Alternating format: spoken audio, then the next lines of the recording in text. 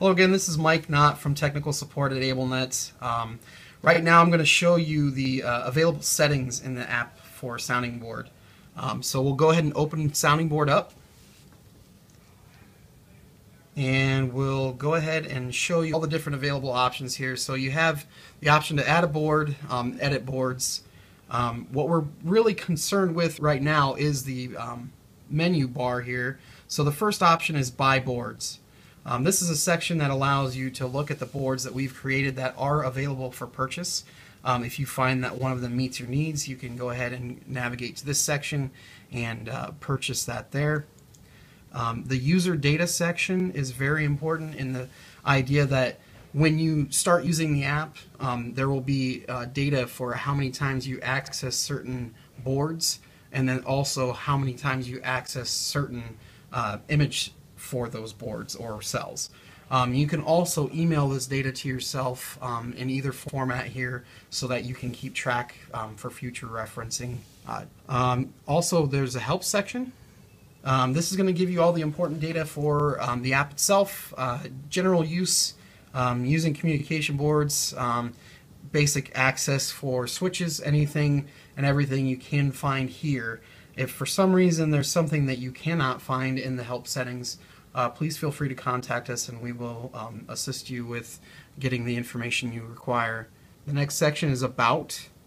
Um, this is going to be helpful in, in terms of troubleshooting needs. Um, if you do call for assistance, um, the main thing here to keep note of is the app version. Um, just to make sure that we're up to date. Um, you can also find a catalog here so you can access all of our uh, line of products and then settings is the final option. In here you'll be able to change or modify how you uh, select or use um, switches so you can um, set up switch scanning. Um, you can see that you do get a few more options once that is available. Um, you can do single switch or two switch. Uh, right now with single switch it's an auto scan so you can set the rate at which it scans automatically. Um, and then you can also go to two switch and that is a manual scan uh, using one of the switches as scan and one as select so you don't need the timed options. Um, in either option you also have the ability to do auto, audio scanning.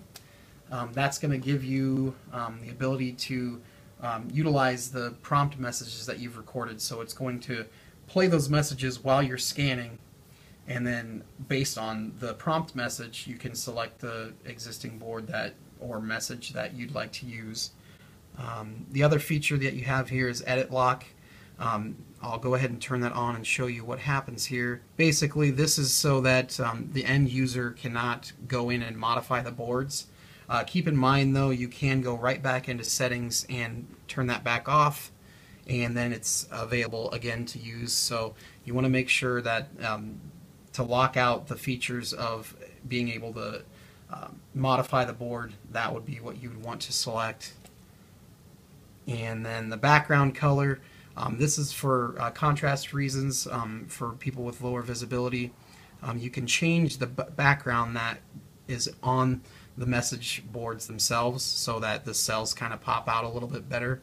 Um, and I'll go ahead and just change it to another color here just to show how that does affect it. So you can see that there is quite a difference um, with the contrast with the different colors, so you have that option available. Um, again, if you have any other questions that aren't covered in the video, please feel free to contact us at AbleNet here. Um, the number is 800-322-0956, and you'll just want to pick the tech support option to get a hold of one of us. Or you can always email at techsupport at ablenetinc.com.